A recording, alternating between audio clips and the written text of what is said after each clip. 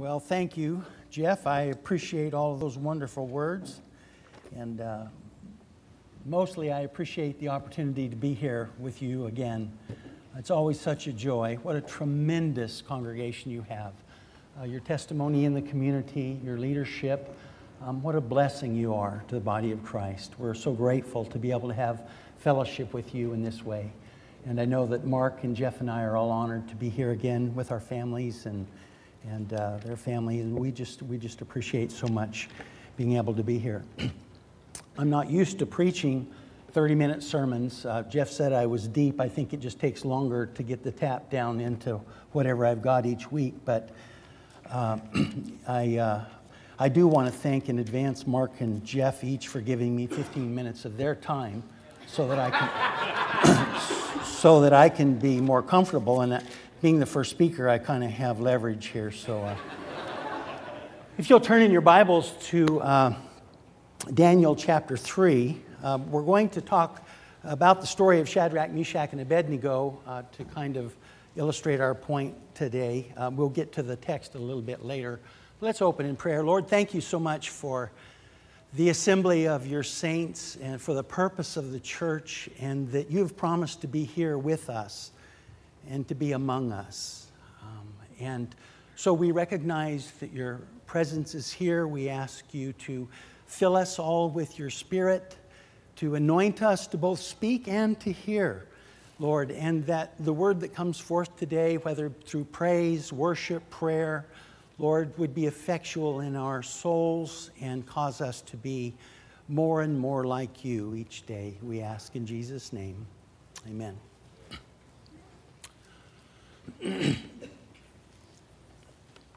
when I was in high school, uh, probably a freshman or sophomore, our pastor left our church and we received a new pastor. And uh, on his first Sunday with us, he asked if he could meet with the youth, the, the high school class, the high school group. There were quite a few of us. Um, and he met, shared some thoughts, and then he asked us, he said, Do you have any questions for me as your new pastor? Um, and uh, I'll never forget one of our seniors spoke up and he asked a question. he said, Pastor, um, he said, I would like to know um, when I'm out on a date with my girlfriend, and we're all snuggled up in the back seat and we're kissing and, and doing that. Um, how, how intimate can we, can we be? How, how far can we go? And still, still be Christians.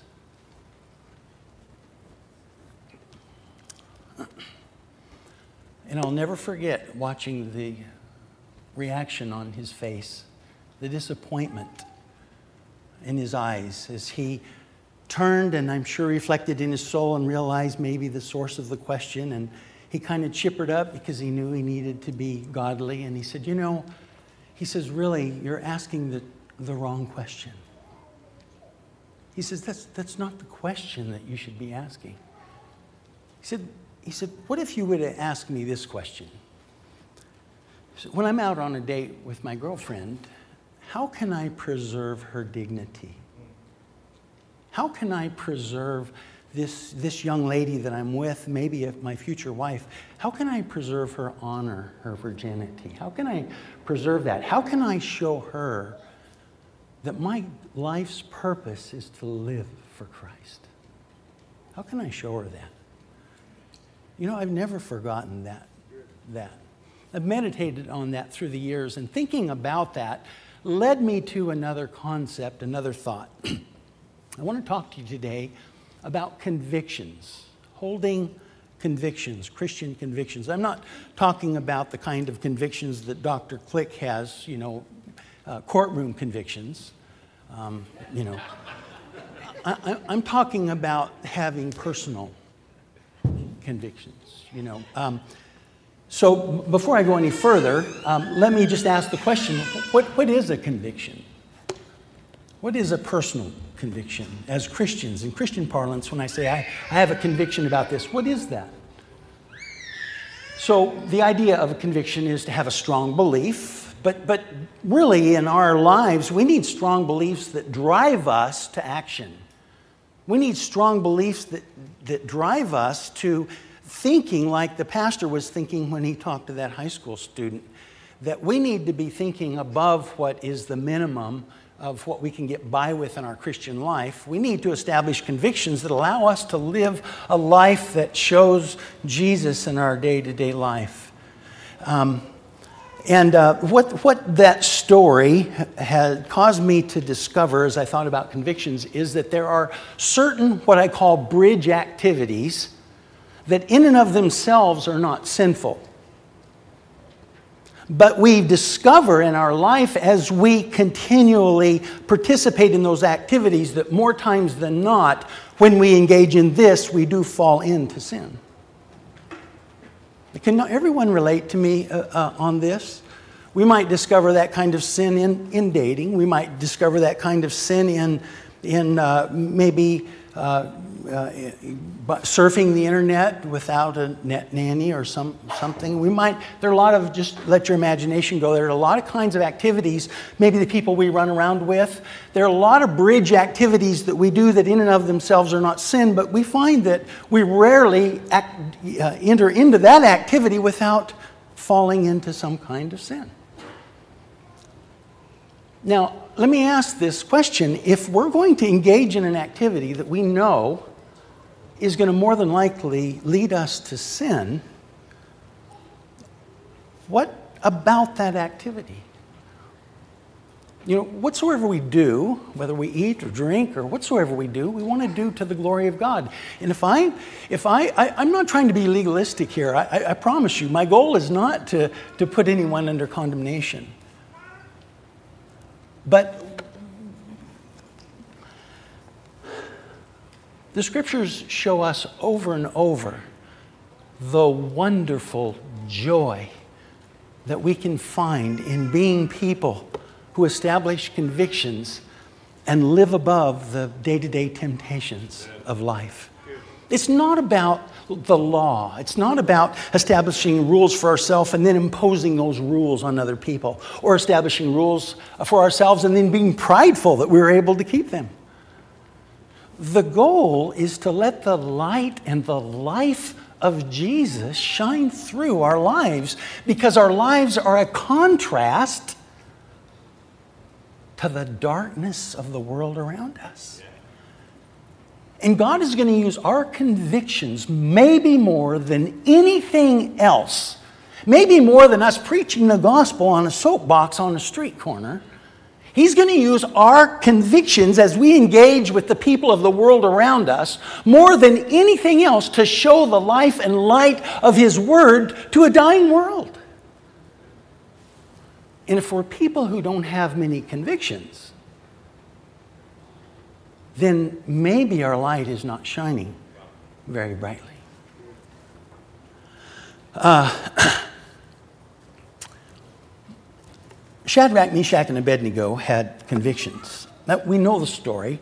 Uh, three men with Daniel, four at least, uh, that had been brought from Jerusalem. And they were commanded, basically, to uh, fall down and worship an idol. Uh, Nebuchadnezzar had, had commanded all of his leaders in his administration uh, to come out to the plains of Dura, and there was a 90 foot idol out there, probably an idol of Nebuchadnezzar himself, um, and 90 foot idol out there. And they had uh, brought the musicians, and the command was that when you hear, you know, the horn and the pipe and the lyre and the trigon and the, the bagpipe, apparently they had some Brits there too, um, and, and, the harp and, and every kind of music, when, when you hear this, then you must bow down. And so everybody was assembled, and Nebuchadnezzar, no doubt, says, okay. And they sounded the music, and everybody bowed, except Shadrach, Meshach, and Abednego. And by the way, I can guarantee you, Daniel was not there that day. How do I know? You think he would have bowed? No, he wouldn't have bowed. So I don't know where he was, maybe away on business. You know, maybe he called in sick. Good time to call in sick. but here they are. They refuse to bow down. Some Chaldeans grab them, bring them before Nebuchadnezzar. And Nebuchadnezzar's furious, but he likes these guys. Um, and you can tell by the way the story goes, other places, and, and even his countenance changes, just the way the text reads. You know he wants to give them a chance. Most people, he probably just grab them and say, I'm done with you. You're toast, literally. But in this case, you know, he says, um, I'm going to give you another chance. And so he says, when you hear the music, bow down. They said, wait a minute. You, you don't even need to play it. We, we, there's no reason. We, we don't need to answer you on this. We're not going to debate this. I'm not trying to be disrespectful, but we're, we're just not going to do it. We're not, we're not going to bow. You don't need to play the music anymore. Um, you know, we're, we're not going to bow. And he said, Well, there's no God that can save you. And they said, Well, yeah, wow. actually, actually, there is. Our God will save us. Um, but we're not God, and even if He doesn't, we're not going to bow. We have a conviction. We have a conviction. And we're not going to bow regardless of the consequences. This is a conviction. When you have something that you believe and you say, you know what, this is something I'm, I'm going to live the Christian life and this is something that I'm, I'm going to do, and, and nine times out of ten, I'm going to live this way. Nine times out of ten, I'm going to make this decision. Nine times out of ten, I'm going to do this, usually, but, but, but not necessarily always. And if the consequences are too bad, I would, I would change that. Well, that's a preference. And, and that's okay to have those have preferences. But there are certain things that we should have convictions about. There are certain things that we should have convictions about. And if we know of an activity that always leads us to sin, it might be time for us to stop and say, you know what? I'm going to stop engaging in this kind of activity because I'm fooling myself to pretend that I'm going to walk onto this bridge and not go over to the other side. And I'm going to cut this out of my life. And I'm just going to say from today on, I'm not doing this anymore. It's just not going to be part of my life because it compromises my testimony before my wife, before my children, before the world, before my workmates, before the other people of the church. It compromises my walk with God. I'm not going to do it and I'm going to establish a conviction. And I further want to encourage you to establish convictions to, as a family. You may have a conviction, your wife may have convictions, um, but, but don't, don't raise your children with the idea that everybody can establish their own convictions. You need, and, and forgive me for being so dogmatic about this, but as leaders, as fathers and mothers, as parents of, of uh, homes who are given, charged with the responsibility of raising kids to follow Jesus. In this world today that is trying to pervert their values and will lie to them at the drop of a hat, will steal their morality from them at the earliest possible age. You need to establish some convictions and cause your children to be raised with those convictions and see the value of it. Because I'm of the inclination that one of the reasons why we as believers feel like we don't ever see God move in our life is because there's nothing for God to do. We read about, about David, he's being pursued by Saul. He could have probably killed Saul in self defense. I mean, he had the chance, but he refused to touch God's anointed. And it was a faith thing he did. I'm not going to kill the king that God's put into place. I have a conviction about killing the king that God's put into place here. Um, and God honored him for that. Joseph refused to touch Potiphar's wife, and God honored him for that. Abraham went to the mountain to sacrifice his son at complete despair, no doubt, but confident that God was able to rescue, and, and he did. And Joseph, uh, or Joshua and Caleb, standing there getting ready to get stoned because 10 spies said we shouldn't go into the kingdom. And these two guys said, we need to go in. And the people were so convicted right. by their faith. The people were humiliated by the faith of Joshua and Caleb. They were so embarrassed they were going to murder these two men because they had faith. But they would not be moved. And God took those two out of 600,000 soldiers, two above the age of 20 went in. Your calculator probably doesn't have enough zeros to tell you what the percentage of that is, if you have a little pocket calculator, that, that's, that's a small percentage of people that went into the land of Canaan. Two. The two that wouldn't bend. The two that had a conviction that we're going to do what God tells us to do. And so we've got to have these convictions in our life. And we need to build convictions as families. We have some convictions in our home that we've had since our kids were little. And it has been around the convictions that we've had that our family has been often challenged. But if you ask our kids if there's a God, they have no doubt. Because they have seen God's hand move in our life to rescue us when our convictions have caused us to be in a tight spot.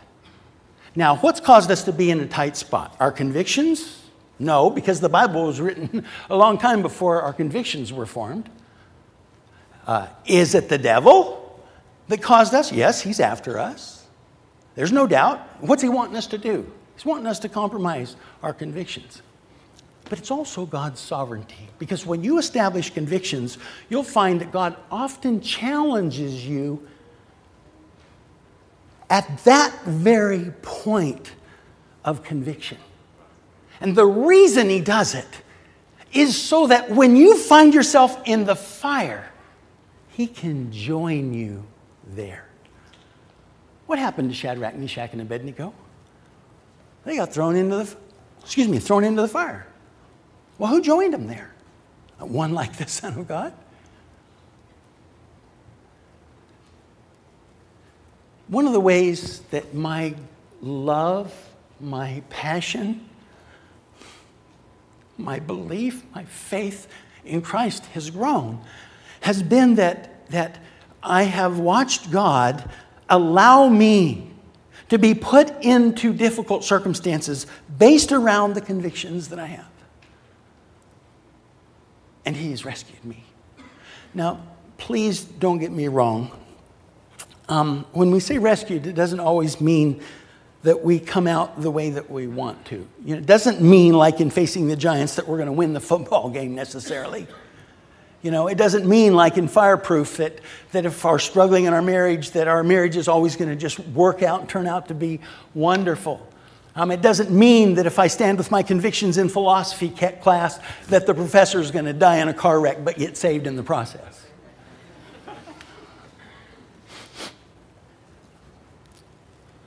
But it does mean that you will be rewarded. You cannot, cannot stand by a biblical conviction without being rewarded. You can't. And let me ask you the converse. Can anyone give me an example of one time in their life that they have sinned and been better off for it.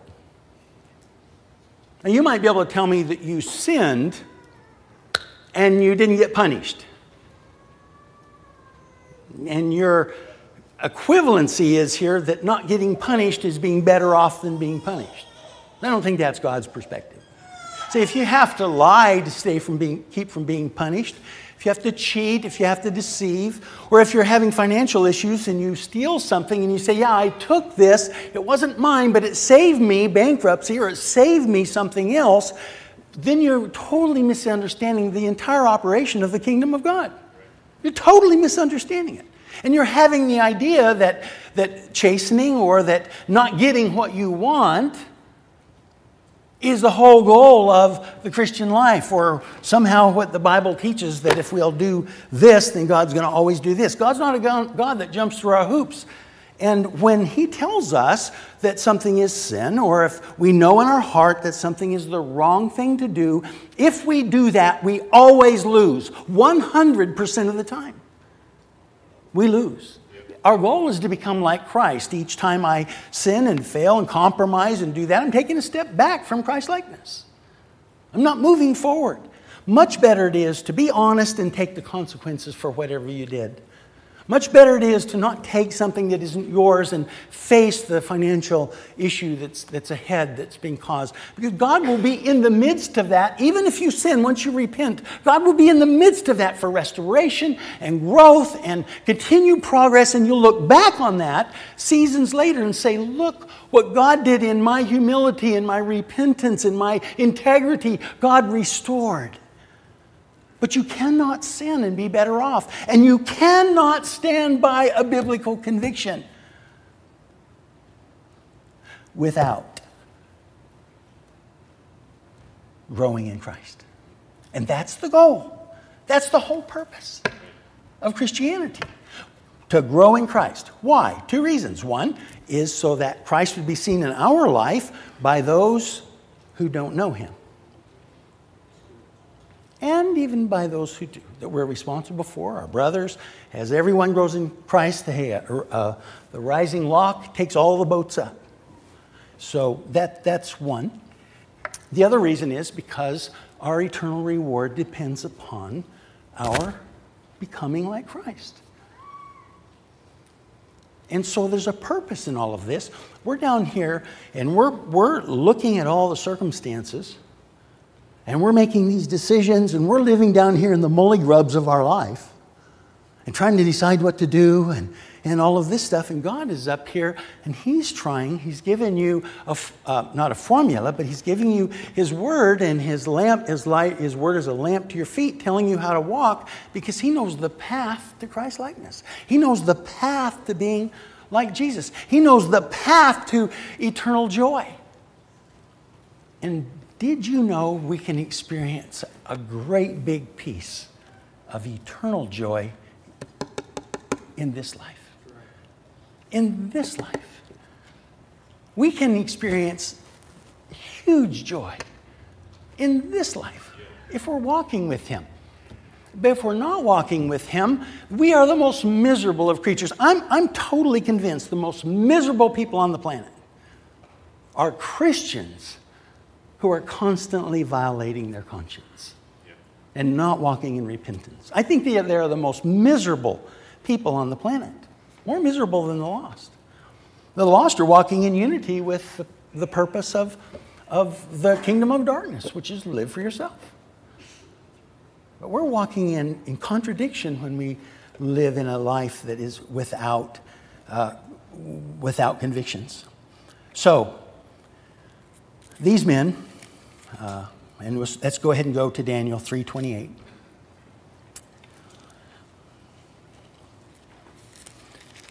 These men are in the fire, and, and there's a fourth man there, a divine presence with them. And Nebuchadnezzar answered and said, Blessed be the God of Shadrach, Meshach, and Abednego, who has sent his angels and delivered his servants who trusted in him and set aside the king's command and yielded up their bodies rather than serve and worship any god except their own. He's having a change of mind here. Why? Because of their convictions. This would have never happened had they bowed.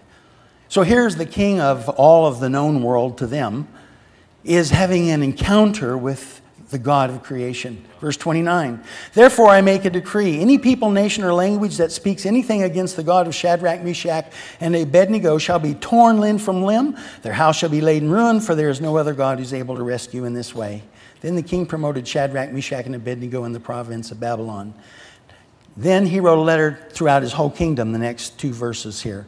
King Nebuchadnezzar said to all the peoples, nations, and languages that dwell on all the earth, Peace be multiplied to you. It has seemed good to me to show the signs and wonders that the Most High God has done for me. How great are his signs, how mighty his wonders. His kingdom is an everlasting kingdom, his dominion endures from generation to generation. Nebuchadnezzar knew he was encountering a God greater than himself. This would have never happened had not Shadrach, Meshach, and Abednego been willing to risk their life to never change a conviction that they had probably held held since they were raised in Judah before the captivity by mom and dad in the tribe of Judah in Jerusalem, where they were learning the Ten Commandments, little children. What's the first commandment? Thou shalt have no other gods before me. That's right, Mark. And what's the second one? Thou shalt not make unto thyself any Nebuchadnezzars. Right? Any graven images. First two things these guys probably learned in their life And here they are. It follows them all the way and to the point where if you read the rest of this book, you'll find Nebuchadnezzar has even more glowing words for God later. Hallelujah. For our God. Yeah. This, this prideful, arrogant, deceived demagogue has an encounter with God because of the convictions of three men who are willing to waste their life on being obedient to God. Lord, thank you for your goodness. That even when it seems like we're not getting what we want, Lord, that you have laid out a pattern, a, a pathway of life for us in this word. Would you help us to, to walk in, in this word? Would you help us to identify areas in our life that lead to our failure? Would you help us to identify the bridges in our life that, that take us from godliness to ungodliness, where we seem to lose our will and our inability to stand? Would you give us grace to not make room for the devil? Would you give us grace, Lord, to renew our mind and to set our affections on things above, to count all things as loss for the glory of your kingdom, for the joy of the fellowship of suffering with you as we deny ourselves and choose, Lord, to let eternal things rule and reign and dominate our souls and our lives, Lord, for the joy and the glory of your kingdom so that we can pass the truth and the life and the purpose of your kingdom on to others and down to our children for generations. Thank you for the gift of this word, Lord. Let this word rule us, Lord. We ask in Jesus' name. Amen.